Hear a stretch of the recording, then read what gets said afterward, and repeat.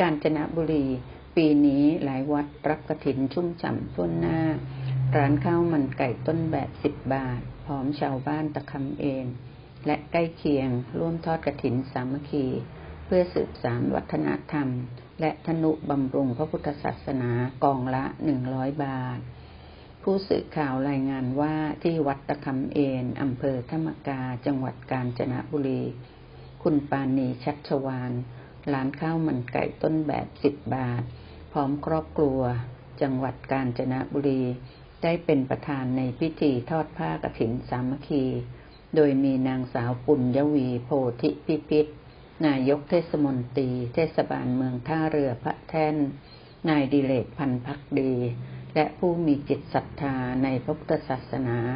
ร่วมกันเป็นเจ้าภาพทอดผ้ากฐินสามัคคี โดยมีพระครูวิสารการจนะจิต รองเจ้าคณะอำเภอธรรมกา เจ้าอาวาสวัดตะคำเอนนายประกอบพิกุลทองวัยยาวัจกร และคณะกรรมการวัดตะคำเอนครูโรงเรียนวัดตะคำเอนให้การต้อนรับและในปีนี้ทางวัดตะคำเอน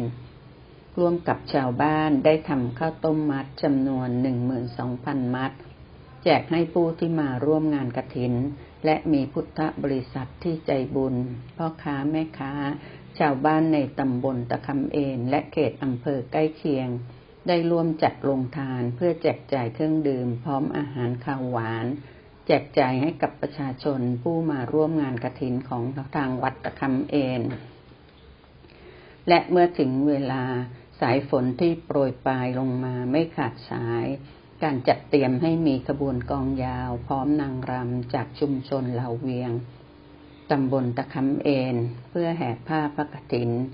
รอบพระอุโบสถของวัดตะคำเอนจำนวนสามรอบ ก็ต้องเคลื่อนขบวนทำให้กฐินปีนี้ชุ่มฉ่ำกันทุ่นหน้า เมื่อถวายเป็นเพื่อถวายเป็นพุทธบูชา ธรรมบูชา สังฆบูชา จากนั้นขบวนผ้าพระกฐินและบริวารกฐิน ได้ขึ้นอย่างศาลาการเปลี่ยนวัดตะคำเอนชาวบ้านได้ร่วมกันถวายผ้ากฐินและผ้าป่าสามัคคี ให้แด่พระสงฆ์ของทางวัดตะคำเอน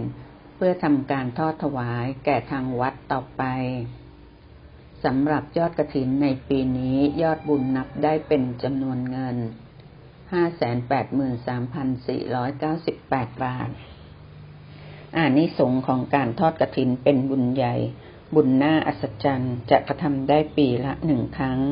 หลังจากออกพรรษาแล้วจะเข้าสู่ช่วงการทอดกระถิน จะเริ่มตั้งแต่วันแรมหนึ่งค่ำเดือนสิบเอ็ด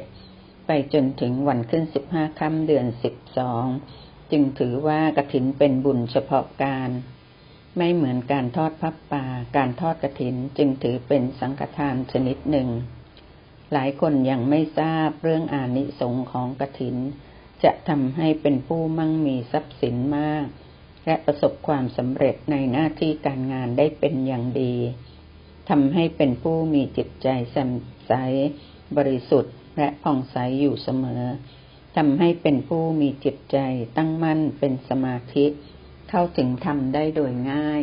ได้ชื่อว่าเป็นผู้สามารถใช้ทรัพย์สมบัติให้เกิดเป็นบุญกุศล ติดตามตัวไปในภพเบื้องหน้าได้อย่างเต็มที่เต็มกำลัง